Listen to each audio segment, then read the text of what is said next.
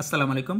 অলম্যাথ নোটবুকের পক্ষ থেকে সবাইকে শুভেচ্ছা। আজকে আমরা শিখব নবম, দশম শ্রেণির সাধারণ গণিতের অনুশীলনী তেরো দশমিক একের সমান্তর ধারার ষোলো নম্বর অঙ্ক। ষোলো নম্বরে যেটি বলা আছে অঙ্কটি two plus four plus six plus eight plus ধারাটির প্রথম এন সংখ্যক পদের সমষ্টি পঁচিশশো পঞ্চাশ হলে এনের মান নির্ণয় করো।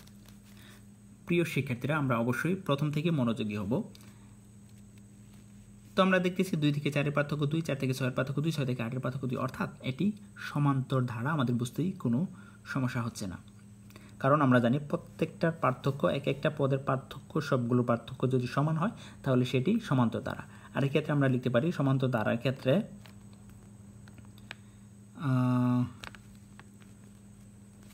প্রথম পদ সমান্তর দ্বারার প্রথম পদকে এ সমান ধরি অর্থাৎ এ সমান তাহলে কত?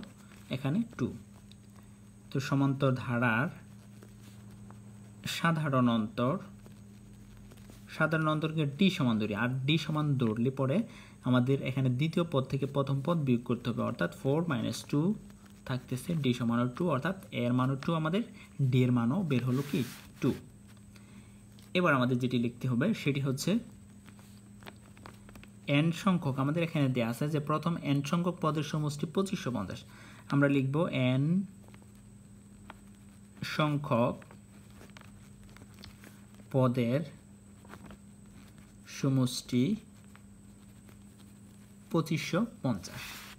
এবার এন সংখ্যক পদের সমষ্টির সূত্র যদি আমরা বসাই n by two two a plus n minus one into d সমান এই পাশে যা আছে সেটি হচ্ছে পঁচিশশো পঞ্চাশ।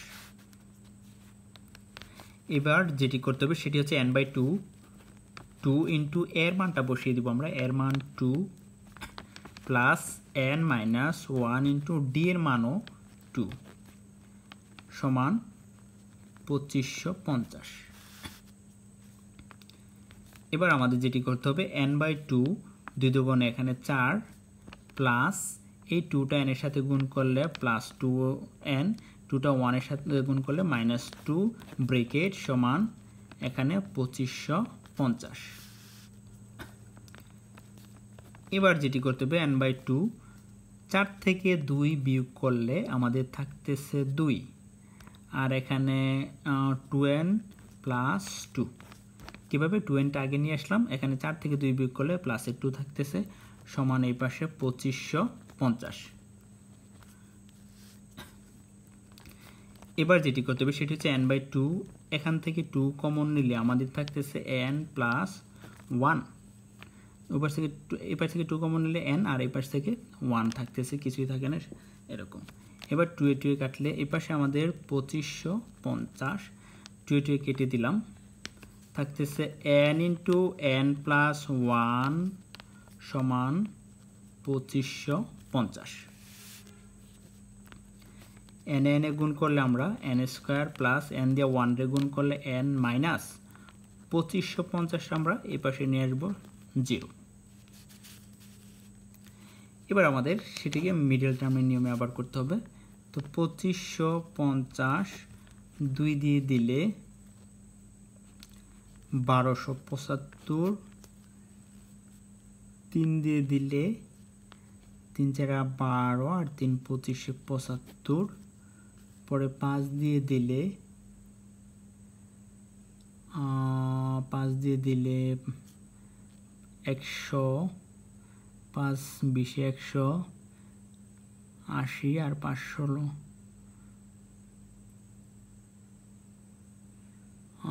এখানে আমাদের পাঁচ দিয়ে যদি দেই, পাঁচ বিশে একশো বিশ বিশ, তাহলে চার বিশে আশি আর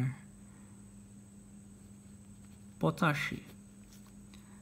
আচ্ছা পাঁচ দিয়ে দিলে পাঁচ সতেরো পঁচাশি। সুপ্রিয় শিক্ষার্থী বন্ধুরা, এবার আমরা আমাদের এটা করে নিলাম। এখানে দেখতে হবে, আমাদের গুণ করে দুটি সংখ্যা বানাতে হবে, যে দুটি সংখ্যা গুণ করে পঁচিশশো পঞ্চাশ এবং যোগ বিয়োগ করে শুধুমাত্র এন থাকবে, একটি এন তো এখানে পাঁচ পাঁচা পঁচিশ পঁচিশ দোকানে পঞ্চাশ, আর তিন আর সতেরো যদি আমরা গুণ করি, তিন সতেরো একান্ন। এন স্কোয়ার প্লাস একান্ন এন মাইনাস পঞ্চাশ এন মাইনাস পঁচিশশো পঞ্চাশ সমান জিরো। সুপ্রিয় শিক্ষার্থী বন্ধুরা, এখানে আমরা বিষয়টি আবার একটু লক্ষ্য করি। একান্ন এন থেকে পঞ্চাশ এন বাদ দিলে আমাদের একটি মাত্র এন থাকতেছে। আর এখানে মাইনাস পঁচিশশো পঞ্চাশ যা আছে তাই। আর একান্ন এবং পঞ্চাশে গুণ করে কিন্তু আমাদের পঁচিশশো পঞ্চাশ হচ্ছে। আমাদের মাঝখানের এই দুটি সংখ্যা, এটা মিডল টার্ম বলে, এই দুটি সংখ্যা গুণ করলে এটা হবে এবং এই দুটি বীজগণিতীয় রাশি বিয়োগ করলে মাঝখানেরটা হবে। অর্থাৎ একান্ন এন থেকে পঞ্চাশ এন বাদ দিলে একটি এন থাকতেছে আর একান্ন এবং পঞ্চাশ গুণ করলে পঁচিশশো পঞ্চাশ মিলতেছে। এবার প্রথম দুইটা থেকে কি কমন যায়? প্রথম দুইটা থেকে এন কমন গেলে এখানে থাকে এন প্লাস একান্ন মাইনাস এই দুইটা থেকে মাইনাস একটি মাইনাস কমন আর পঞ্চাশ কমন যায়। পঞ্চাশ মাইনাস পঞ্চাশ কমন নিলে এখানে এন মাইনাসে মাইনাসে এটা প্লাস পঞ্চাশ দিয়ে পঁচিশশো পঞ্চাশ দিলে একান্ন সমান জিরো এবার আমাদের যেটি হচ্ছে সেটি হচ্ছে এন প্লাস একান্ন দুই জায়গাতে আছে, এখানেও আছে এখানেও আছে কমন নেওয়া হয়েছে। পরে এন মাইনাস পঞ্চাশ সমান জিরো এবার আমরা লিখব এন প্লাস একান্ন সমান জিরো, এক পাশে, আরেক পাশে লিখব এন মাইনাস পঞ্চাশ সমান জিরো। আচ্ছা এটা যদি করতে যাই এন সমান মাইনাস একান্ন, অর্থাৎ পঞ্চাশটা একান্নটা যখন প্লাসের এই পাশে, অপর পাশে গেলে সেটি মাইনাসের আর মাইনাসের কোনো মান এক্ষেত্রে গ্রহণযোগ্য নয়।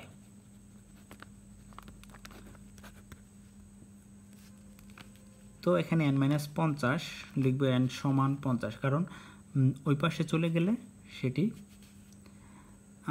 প্লাসের হয়ে যাবে মাইনাসের তো এক্ষেত্রে পরে আমাদের বলছে যে এখানে এন এর মান কত? আমরা লিখতে পারি সুতরাং এন এর মান পঞ্চাশ। আর এটি আমাদের আনসার সুপ্রিয় শিক্ষার্থী বন্ধুরা, আশা করি অঙ্কটি তোমরা খুব সহজেই বুঝতে পেরেছ। আর অঙ্কটি যদি তোমাদের একটু উপকারে এসে থাকে অবশ্যই লাইক কমেন্ট এবং শেয়ার দিয়ে অলমেদ নোটবুক এর সাথে থাকবে এবং পাশে থাকা বেল আইকনটিকে ক্লিক করে পরবর্তী ভিডিও যাতে পেতে পারো, সেই উদ্দেশ্যে চ্যানেলটি সাবস্ক্রাইব করে রাখবে। ধন্যবাদ সবাইকে, ভালো থাকবে সবাই, আসসালামু আলাইকুম।